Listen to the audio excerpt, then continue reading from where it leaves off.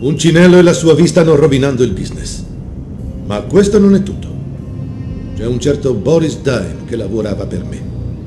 È il capitano di una nave cargo chiamata Caronte. Adesso il bastardo ha tradito e si è messo col nemico, Puncinello. La nave è carica di armi e munizioni. Il mio business. Se Puncinello mette le mani sul bottino, lui vincerà e io perderò. Non ti conviene rinunciare a un possibile alleato. Se vuoi arrivare a Puncinello avrai bisogno delle armi giuste. E io sono la persona che te le può offrire. Riporta la nave sotto il mio controllo. Piazza un paio di pallottole nella testa del traditore ed è fatta. Avrai abbastanza potenza di fuoco da scatenare l'apocalisse. Ci stai o no? Mandiamo in onda lo spettacolo. Vladimir era uno di quei cattivi d'onore, il che lo rendeva quasi una persona affidabile. Nessuno di noi due era un santo. L'attracco di Brooklyn era un labirinto di arrugginiti container e gru elettriche. In una notte come quella non si poteva non pensare all'armata di cadaveri che dormiva sul letto del fiume con due belle scarpe di cemento. Nessun minotauro era in agguato nel labirinto, ma da qualche parte sul ponte del suo cargo sapevo che mi aspettava il capitano del Caronte, impassibile come il dello Stige.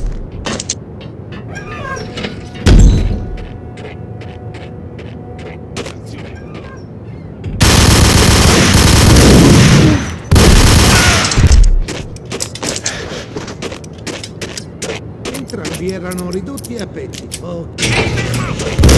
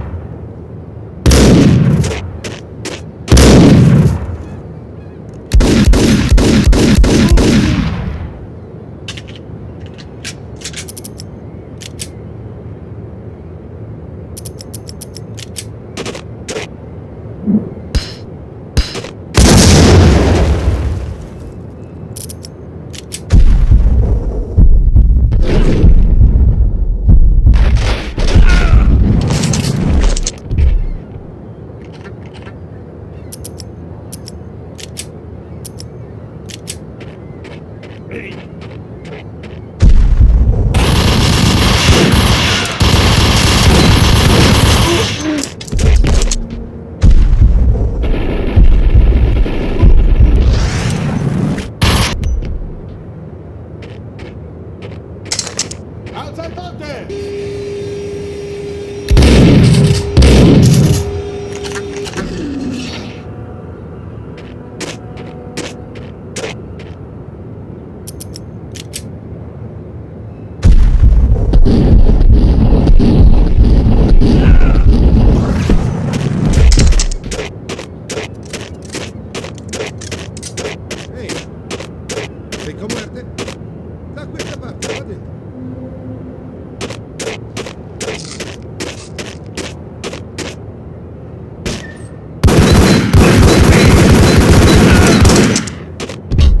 Dubitavo che la lettera contenesse una ricevuta.